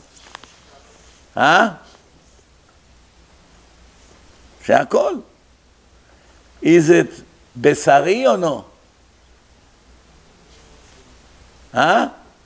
Is this considered meat or no? Grasshoppers. Chicken considered meat or no? Chicken really is not meat, but the Chachamim made a decree that it counts like a meat. That's why not, you cannot eat uh, chicken and, uh, and dairy. You cannot have uh, chicken with the melted cheese on it. But if you do, what kind of sin you you you breaking? Rabbinical, rabbanan. You eat meat with cheese, that's already the oraita, if they're hot. But if you eat chicken, it's rabbinical. Grasshoppers, it's considered like chicken or considered like meat? Huh? It's not besari. You can eat it with dairy. Why? How do I know? No, let's see if you're clever. How do I know that the Temanim, the Yemenites, that until today they eat grasshoppers, a minute later they can eat pizza? Huh? It doesn't have split hoofs, And it's not Ma'ale It's not an animal. It's not, I mean, a meat. It's not a cow, it's not a sheep. זה לא מפריס פרסה מעלה גרה. And so maybe you say, but maybe it's like chicken, maybe there's decree on it. We never saw that there's decree not to eat grasshoppers with dairy. There's decree not to eat chicken with dairy. That's from the time of the Gemara. Off bechalav, you can't eat. What about fish and milk? Bagel with lox and cream cheese? Allowed or not allowed? Ashkenazim, they live on it every morning, breakfast, bagel with lox and cream cheese. Sfaradim don't eat it. I heard that some Syrians do eat it. The reason we don't eat it as Sfaradim because it's written in the Sfarim that it's not healthy. Sakana. Chamira sakanta mi It's not healthy. So one person asked, wait, so for the Sfaradim it's not healthy, but for the Ashkenazim it's healthy? Huh? What do you think? Can you eat something that is healthy for you and, and it's not healthy for your brother? What do you think? Of course. How many things in life you eat, it's wonderful minerals for you. Your brother is allergic. Huh? I know one guy used to help me in a website 10 years ago. Everything he was eating, he checked 10 times if he doesn't have eggs in it. So what? Well, mayonnaise, he can eat. This, he cannot eat. Eggs, eggs. Why? So if you see me eating egg, in less than a minute, my face will become like a watermelon. He's allergic. So I eat eggs. Good for me. Makes me full. There's some, all kinds of vitamins in it, whatever. He'll eat it, he can die same food can affect one and not affect the other. But really the answer is because the halacha of the Sfaradim is like that, it's sakana. Before the rabbis of the Ashkenazim allow it, Hashem does that is not going to be sakana. Remember what the Torah says. Everything that happened to you in your life, everything, Hashem sent it to you. And why? Because you brought it on yourself. And remember, it's not only secular people that deny it. A lot of religious people think that everything that happens to them is bad luck, random, coincidence. I was in the wrong place in the wrong time, Rabbi. Beloni. You were there because Hashem wanted you to be there. And your friend did not go there because Hashem didn't want him to get hurt. That's all. And why you got hurt, now it's a whole list of possibility. Maybe because Mechalel Shabbat. It's a very big crime. That penalty in the Torah, it's not a joke. Torah says Mechalel Shabbat mot yumat. Maybe because you're making sins with uh, all kinds of women. Maybe you're married to a non-Jewish woman. Every second to be next to her, it's a sin. Every time you touch her hand, it's a very big sin. Every time you're intimately with her, it's a huge sin. In the next world, it's going to be the biggest embarrassment for you for eternity. It's no joke. Some people think, ah, I'm doing it for 10 years and everything is fine. She takes care of me, she's great, she's better than all the Jewish girlfriends I had. Yes, you're not lying. But when you're going to get the bill, you're going to see what the Torah meant. Smile. In Israel, they ever say, מה? צוחק מי שצוחק אחרון. You can laugh now as much as you want. It doesn't matter who laughs now. It matters who will be laughing after the soul will leave the body and will come to a trial in front of Hashem. Mishpat Yud Bet Chodesh, 12 months. That's why we say Kaddish for one year. What do you think? It's a joke? You marry a non Jewish woman, your kids are not Jewish. They're not Jewish. They're, they're not your children. You go in the next world to another place and they go to a different place. Yesterday I had in my lecture in LA a guy like this. They told me in advance. Ah, How about these two guys? He has this problem and this guy is living, he just got married to a Muslim Goya. He said to me. And he's gonna probably ask you about it in a lecture. And he did, and you can see it online tomorrow night. You can see it. I told him the truth in his face. What do you think he did? Got up and left angry. Who is he angry at? Maybe at me, maybe at Hashem. That's it. Who is he angry at? But he's not angry at, at himself. No. He's not angry at himself that he made such a mistake and destroyed his life. It takes away the blessing. It makes you lose money. It makes you die younger. It makes your body smell. It makes you lose your hair. You have to see the list of curses that come when a person live with a non-Jewish woman. And not because she's not good. She's much better than him. The Goyim are less wicked than us because they only have to keep seven law. So if they don't keep the seven law, they break only seven laws. We have much more laws to keep. If we don't keep, we are bigger criminals than them. If I have to come to work two hours a day and I cheat my boss, so I cheat him by two hours. If somebody else has to come to work 10 hours, he's cheating him by 10 hours. Who is a bigger crook? Someone that cheat two hours or someone that cheat 10 hours?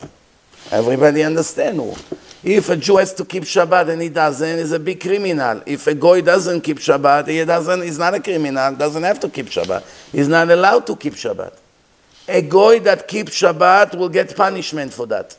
It's not allowed. It's a gift that Hashem gave to the Jewish people. It's written. That's what we say in the Kiddush. ושמרו בני ישראל את השבת. The nation of Israel observed the Sabbath. לעשות את השבת לדורותם ברית עולם to make Shabbat for their generations an eternal covenant. ביני ובין בני ישראל אות היא לעולם. Between me and the nation of Israel, it's a sign for eternity. A sign for what? כי ששת ימים עשה השם את השמיים ואת הארץ, that Hashem created heaven and earth and everything in it in six days. And in the seventh day, he rested. He did not create anything on the seventh day. And what does it say right after that? Mechaleleha mot yumat. Someone that makes Shabbat a weekday will die younger in this life. If supposed to live to 90, will die 75. Supposed to live to 80, will die 65. Supposed to, die, to live 110, will die 90. Would lose years of his life for sure, but that's not the punishment. That's nothing. You live another 10 years, less 10 years, that's not the critical part. Mot, yumat. The Torah say, what does it mean, this duplication? Will die twice? Can you die twice? You died already. Mot, why yumat? Again, later. Mot, in this world, the Torah say, yumat for the eternal life. Billions of years of suffering. People think the Torah is a joke. They look at it as tradition. Hobby. Fanatic rabbis making up primitive rules. Someone that is smart, come challenge the rabbi. Come to me, come. Here, it's in front of a video. Bring, bring me all this atheist, professor, bring me.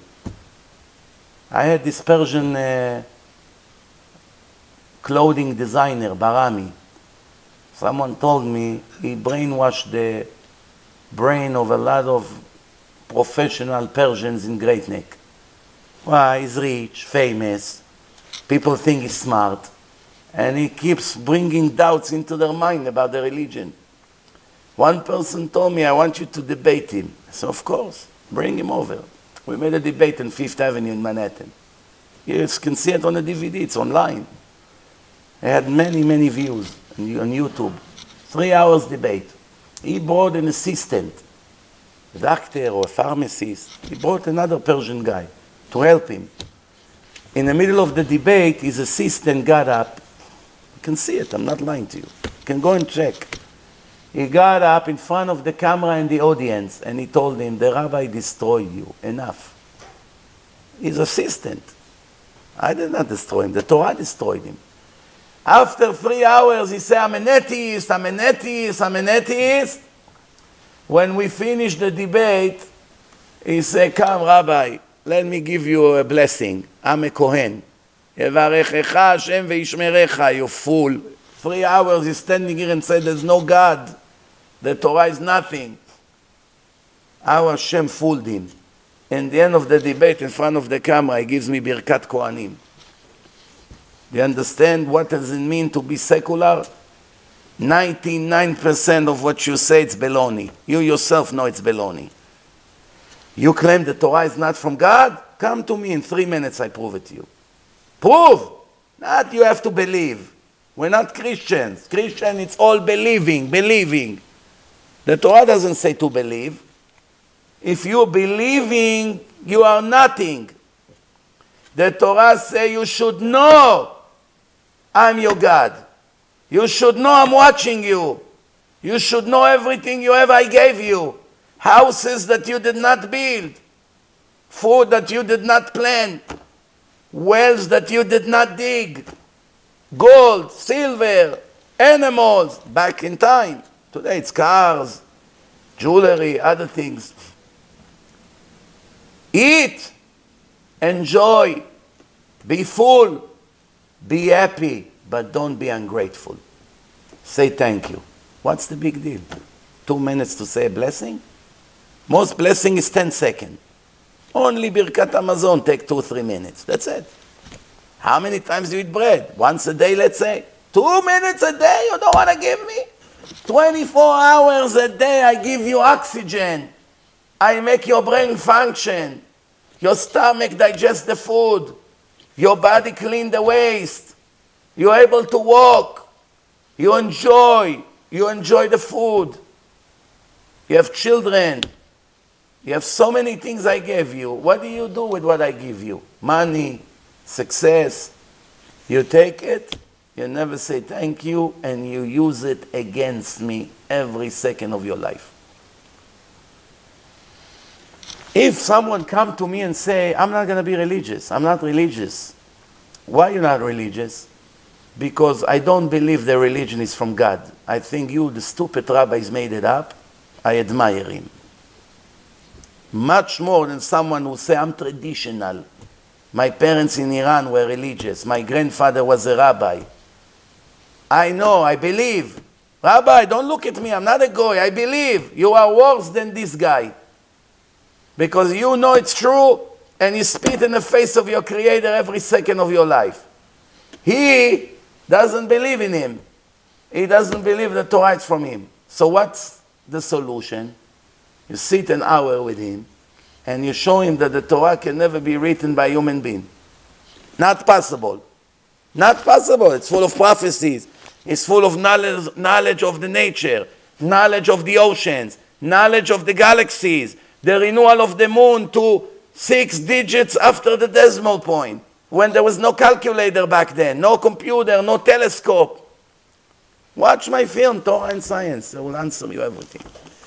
Once you see that the Torah can never be written by a human being, only the creator of the world was able to write it, now he's going to change.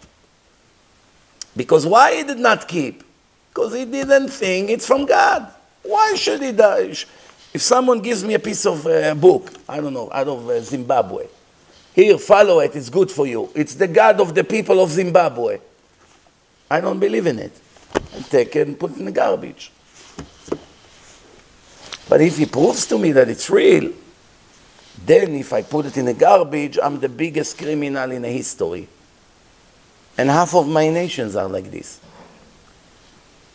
Half of them. Most Jews, you tell them, step on a Torah. Here, let's open it on the floor. Come, step on the Torah, I give you a thousand dollars cash. With your shoes, walk on the ladders. You crazy, Rabbi?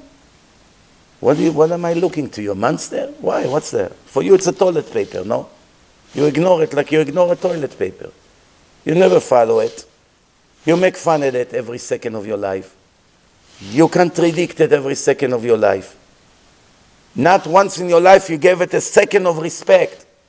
Step on it. Step. You kill me, I won't step on it. I won't. Why? Why this hypocrisy? If you ignore it and it's nothing for you, step on it. Be honest, be real. If you say I don't believe in it, it's a piece of paper for me, step on it.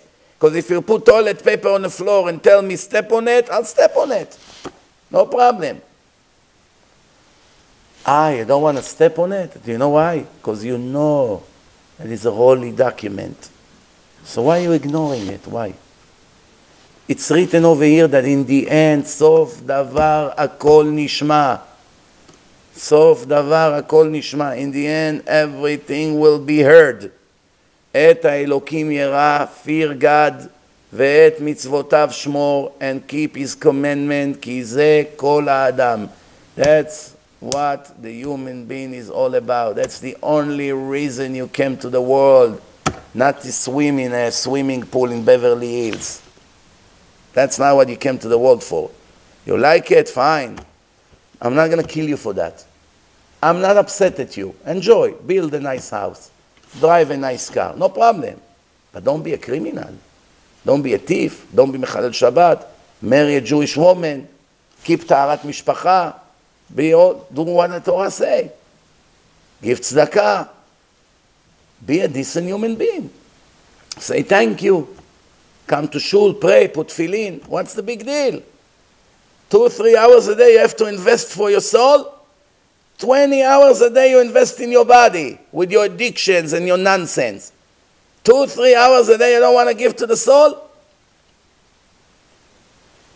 You know how many secular people started to cry non-stop for the first time in their life when they started to read Tehillim? They couldn't hold their tears. If they understand Hebrew, they read the words, it's very, very touchy. It's very hard not to cry. Read the Tehillim, It's David HaMelech wrote it 3,000 years ago. The words over there, it's mamash opening the heart. After the Torah, the most important Jewish document is Tehillim. A lot of halachot come from there. Gemara, a lot of parts of the Gemara is on the, on the verses of Tehillim.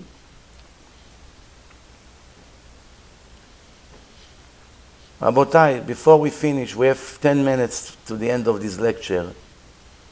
I'm telling you what I said to you an hour and a half ago, for those who came late. I work with the public for 24 years. Baruch Hashem, Hashem helped me. Every year I made thousands of Baalei Tshuva. Multiplied by 24 years, probably 150 to 200,000 people in the world. That are Shomer Shabbat, Shomer Mitzvot, a lot of people. But I'm going to tell you right now, after 24 years of work, non-stop work with the public, and millions of listeners on the website, on the Facebook, 250,000 fans on the Facebook pages, so many millions of views on the videos. The situation today is the worst it's ever been.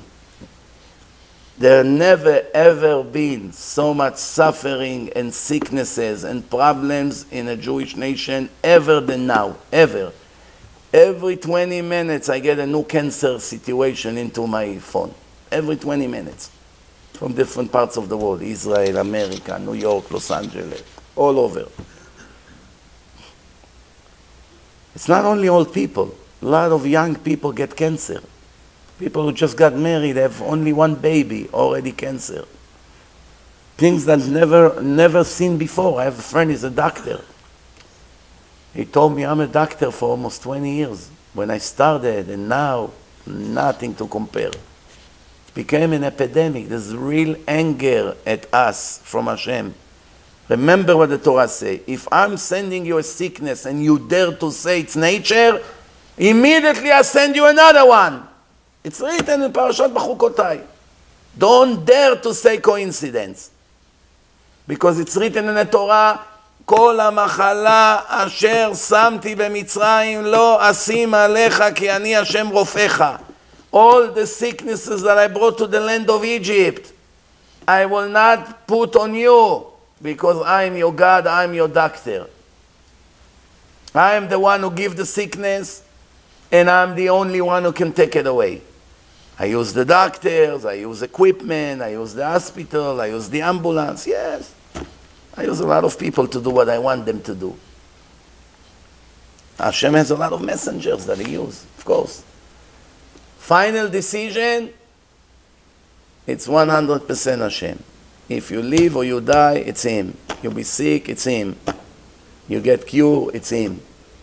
But He doesn't make decision randomly. He doesn't have a Russian roulette that He turns and see what number comes out. And based on that, He makes His decision. No. Please don't be stupid to think like this. The decisions are 100% honest and precise. You make repentance, I have more reasons to take it out. You continue with your crimes, why should I take it out? Why should I? You continue to steal, I'm going to give you a blessing. You continue to charge interest from Jews, I'm going to give you a blessing. You continue to torture your wife. How many people lost all their money just because they tortured their wives? Do you know? The Torah says, you want to be rich, make sure your wife is happy. Even if she's not the nicest person in the world. Not every wife is great. Some are good, some are not. Like everyone else. Husbands, some are good, some are not. The Torah say, I'm giving you a tip. You want to be rich? Make sure your wife does not sit home and cry. If she sits home and cry, you will never have blessing in your life. Never. No matter how brilliant you are. And I see people that really make millions. I see, they come, they talk to me. I make over a million dollars a year. And I'm in debt up to here. Why? How can it be? I invested in real estate here and over there, they give me permit, the neighbors sue me, this, that, wow. Non-stop, no blessing. I know someone has a building that worth $200 million. Their rent over there is more than $100,000 a month. At least 10 times in the last 20 years he came to me to ask me for a loan. I don't have 1% of 1% of what he has. Can you, can you lend me a few thousand? I don't get it. You're making so much money every month. What happened? He began to tell me how the money is gone. This, that, that. Wow, cannot believe. He went and bought a brand new SUV. Brand new. He said, tomorrow I'll take care of the insurance. $45,000. Put it in his driveway. Get up in the morning, was stolen. No insurance. Things like this. He makes, but there's no blessing. No blessing. Make it here, lose it there. Make it here, lose it there. We have Avrechim in the yeshiva make few hundred dollars a month. You have to see how they survive. There's, for every dollar, there's blessing in it. They survive. It doesn't make sense.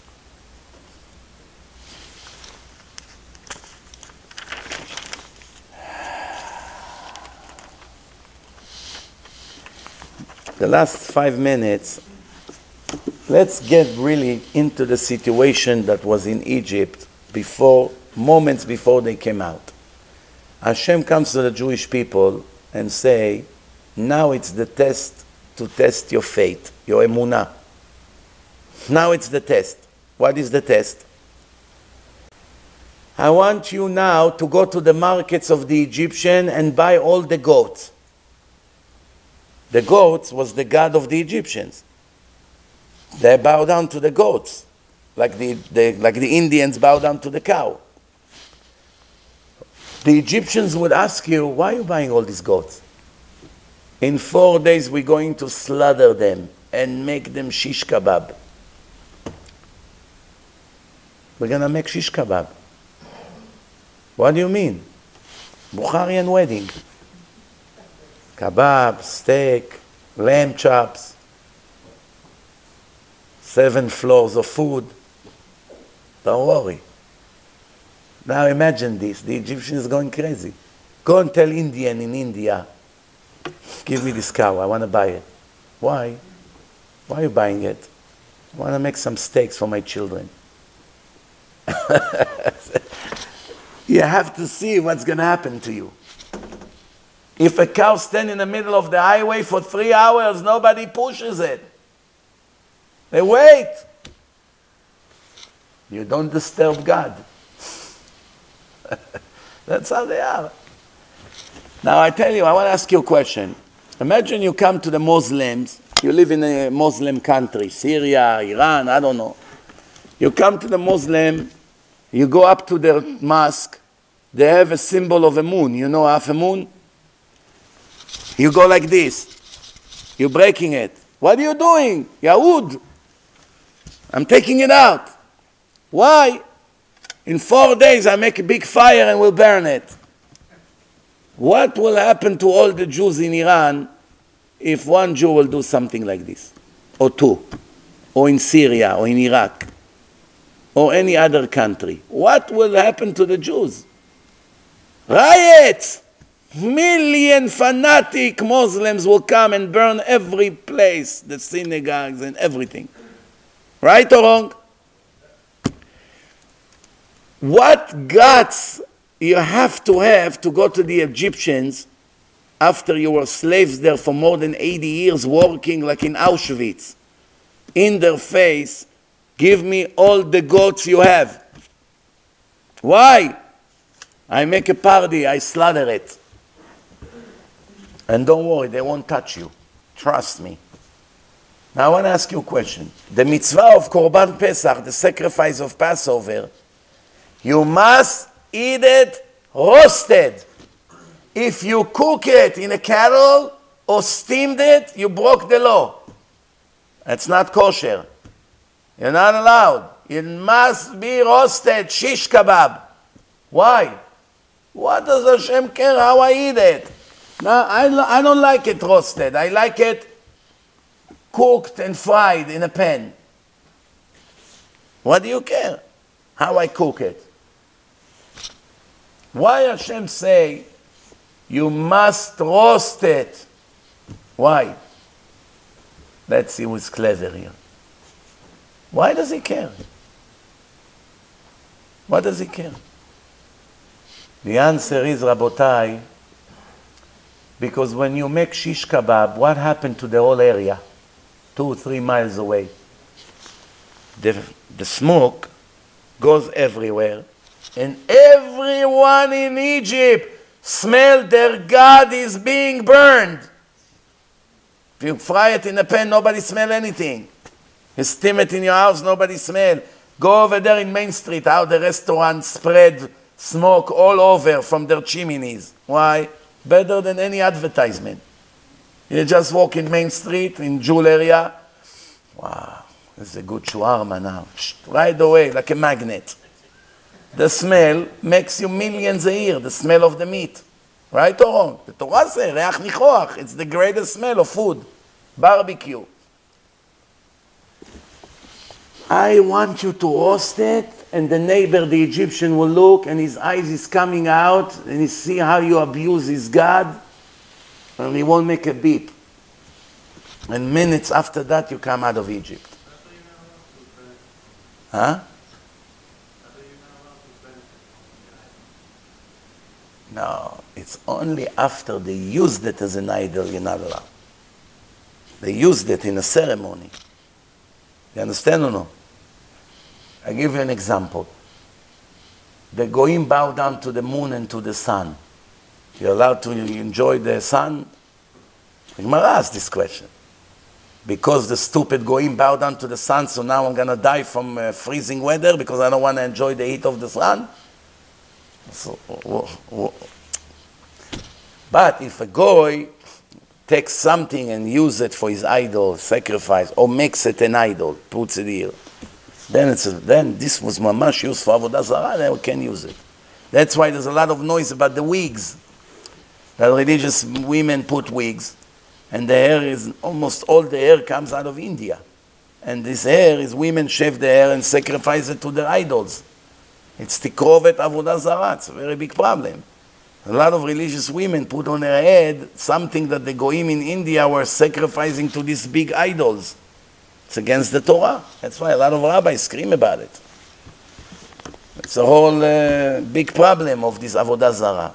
Shem Yazor, if, if they get air from, uh, from Europe, let's say, that uh, European women just shave and if there was a possible to do such thing, okay, so that at least there's no avodah zarah. As long as the wig is modest, and there's no avodah zarah, some rabbis allow it. The problem today that many people that checked claim that almost all the hair comes from India. Because the Indian women have the most thick and healthy hair. And it's easy to dye it and to put it in a wig. Shem Yatzilenu. A religious woman, she loves Hashem, she keeps mitzvot. Especially the Ashkenazim, they all use wigs, almost all of them and they use this they use this pe'ah and she has no idea that this hair a year ago was in front of a big idol in India and this there's movies about it. I don't know if you saw that video how they bring the hair to their gods and how they bow down because they're so poor they have nothing else to bring. Why they shave their hair and bring it? They don't have anything. Do you know that millions of people in India live on the sidewalk with rats like this?